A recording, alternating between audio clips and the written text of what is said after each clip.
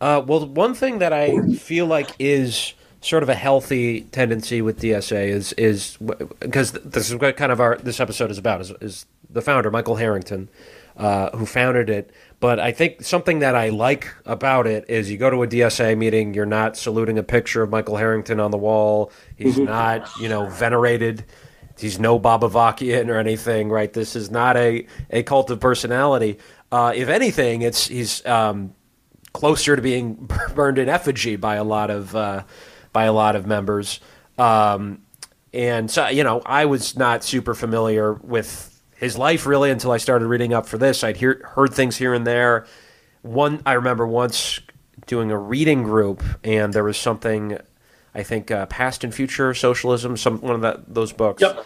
And uh, reading a section from it, I was actually pretty surprised at how radical it was because sort of what you hear about him in sort of DSA circles, from new members anyway, is that uh, he was basically just a liberal, right? He was to the right of Bernie Sanders, basically, is, is how it's pitched uh, a lot of times. And um, what I guess for people who are some sort of coming at it from my vantage point, uh, who was Michael Harrington, and uh, what are some of the uh, important things that we should know about him as current sure. members?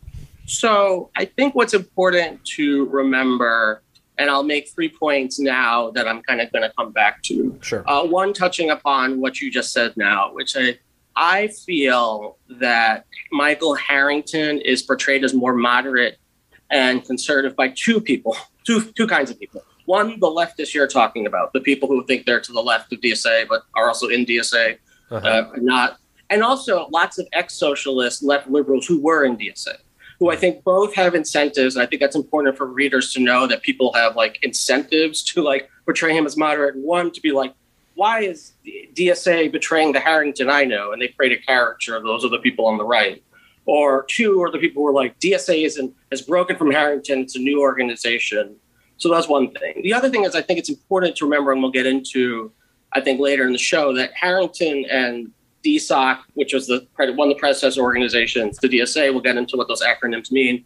You know, really are products of the political era they're in. There's a Cold War, mm-hmm. and more importantly, like the parties, the main parties in this country exist in very different ways than they did now, which we'll get into um, as well. And I think, lastly, what I'll say, and then I'll get into who he is too, is like what we we're going to talk about too is like a realignment strategy, which was like a strategy that was pursued to what I would say to transform the Democratic Party in the United States, not into a socialist party, which I think is a misconception, mm. but into a European style welfare state, social democratic party. And I think what was valuable about that was it was a strategy, and we'll go into like what's actually a strategy. It failed, but it was like a noble attempt. And I think what DSA can learn from that is I, DSA, a lot of electoral work I feel right now is, are very good tactics in search of a strategy. So we have tactics and a long term goal of building a socialist party, but we don't actually have an exact strategy. And I think our 2021 convention reflected that of like people don't actually agree on the midterm what to do. They agree what to do now. They agree kind of what we want,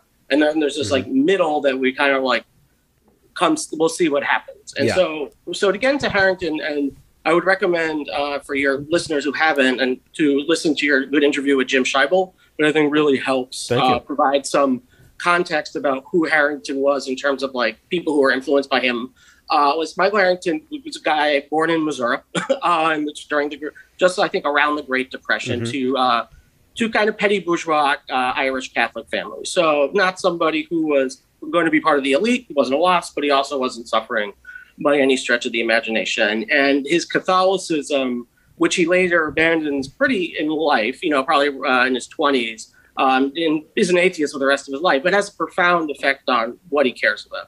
Um, he goes to Jesuit education. He goes to Holy Cross uh, in Worcester, Massachusetts, because uh, his parents only let him go to a Catholic school, so he went as far away as possible. Um, and then he kind of tries some different degrees, goes to law school for a year, gets a master's in, I think, you know, writing, um, but really is kind of a wayward soul and finds uh, Dorothy Day uh, and, and, her Catholic worker movement and spends a few years there while he still has the faith um, in New York, uh, working with the poor, uh, really being, and, and, people don't know you have to like give up your possessions when you join that movement. Then you take on the clothes uh, that they have available that the poor have discarded. It's really like kind of like a borderline monk life in a certain mm. way.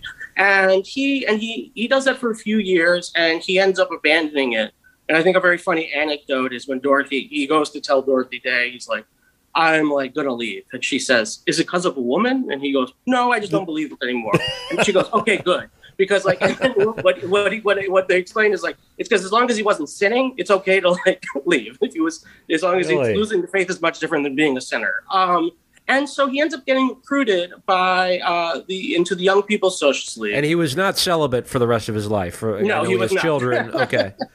uh, he, uh, he was definitely not. Um, and and he um, and he joins the Young People's Socialist League, which is kind of independent at that point, but had been part of the Socialist Party of America. And this is, I think, key to also his formation. The other part of the socialism, the first part, kind of discussing, he's very profoundly impacted by anti-poverty uh, work, and then the other is that he joins kind of this weird sect.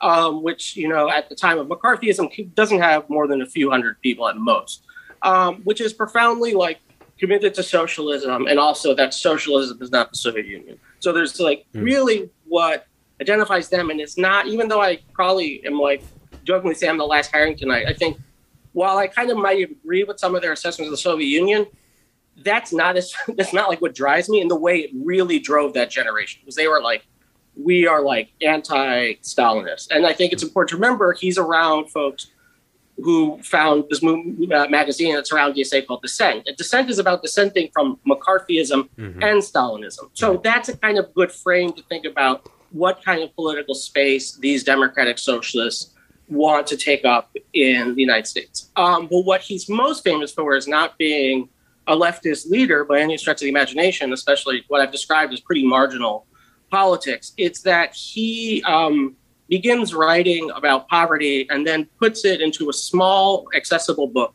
called The Other America, which sells 4 million copies, which you can imagine a country that's probably a, at most half the size of the United States. I mean, it would have been a bestseller today, and it was mm-hmm. a huge seller then.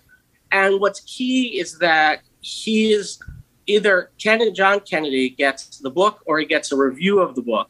Um, and it's always important to remember, even though we know this intellectually, there's no internet then. So it's like it's not like the president's reading white papers and stuff yeah. like so for to get something in front of him is a big deal because you have his full attention um, and that's when what kennedy used kind of is the, the apocryphal stories that's what helped spark the war on poverty i think we understand of course we take a step back you know and what we'll get into is the democratic basis kennedy has to deliver after eight years of republican rule to the democratic base of all races and and also to in the cold war dealing with, you know, that it's an embarrassment that the United States has so many poor people, uh, while the Soviet Union and these other communist states are like trying to eradicate poverty, and like we are not dealing with our poverty. So, Ken, so Harrington is also because he's an Irish. It's good. This is where his Irish Catholicism is helpful. You know, he's welcomed in Kennedy's you know inner circle for a time, and then into Lyndon Johnson's administration after the assassination to take part in what begins drafting uh, the war on poverty. But he's eventually, I think, what's important to remember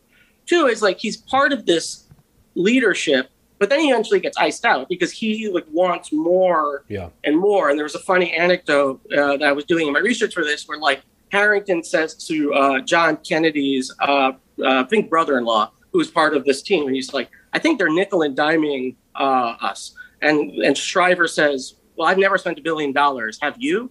And it shows that like you know the scale of spending was super large, but even Harrington knew at the time it wasn't going to be uh, sufficient. And I right. think like, well, and so that does develop great society programs that do have some limit, um, but are do reflect kind of I think the welfare state reputation that you you and I were talking about before, and then I think what people get where you know it's it's a product of also the United States. It's like what gets passed are not universal. They're very what I would say fit into the John Lockean view, which I'll just say is just like there are only three deserved poor people. There's like children, the invalids, and old people. So we have like Medicare for old people, we have like Medicaid for super poor people, and everyone else. Good luck. I hope you have an employer plan. Um, and there's other works projects too and then, but this gives him a reputation that um, I'll stop, kind of stop here to let's see if you have any more questions. But that gives him a national profile that he can use uh, to build the socialist movement. I think, um, and then he really, but he, what's interesting is he stays with the Socialist Party, and we'll get into this too, which I think, especially in the foreign policy, as a party is totally in decline. And what's and for it's important political context, the 60s are a time of huge radicalization, and it's like the Socialist Party is like not growing, and it's mm-hmm. like and it's like why and the Socialist Party just totally misses the boat. And I think understanding why he missed the boat is key to understanding like I think some of his mistakes, some of the way he tries to overcorrect, and how that gets played into DSA.